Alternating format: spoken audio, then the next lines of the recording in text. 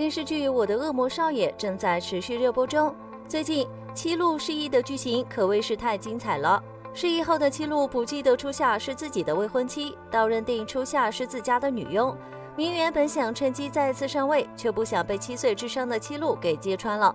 明媛不甘心，经常暗中挑唆七路和初夏的关系，让七路越来越讨厌初夏，甚至还在学校里拿着喇叭大喊初夏只是自家的女佣。七路所做的一切彻底的伤了初夏的心，但是只要能陪着七路，初夏忍了。这时，七路的奶奶回来了，还带回了晴晴。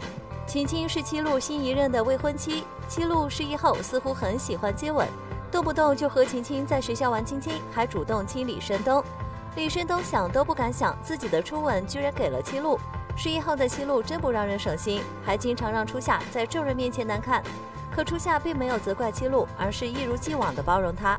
初夏的真心最终打动了七路。尽管他还是七岁的智商，但是已经能看清初夏对自己的好。不久后，七路在初夏和李申东他们的帮助下，慢慢的恢复了记忆。但是他并没有把恢复记忆的事情告诉初夏和其他人。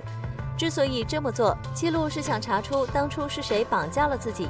在这期间，七路每天都会向初夏撒娇，没事总是要初夏抱着自己。初夏以为七路没有恢复记忆，所以他什么都依着初夏。晚上，七路还要和初夏睡觉。初夏当然很高兴，毕竟两人已经订婚了。再说，初夏也是真心的喜欢韩七路。两人在一起久了，七路居然让初夏怀上了身孕。当孕检出来后，初夏这才知道自己被七路骗了。但初夏并没有责怪七路，七路是个情商智商并存的人，也难怪会有那么多女生喜欢他。好了，今天就说这么多吧。